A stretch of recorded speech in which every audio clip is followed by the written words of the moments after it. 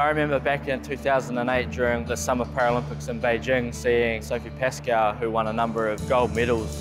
What a wonderful race it is! Pascoe might just be a hit.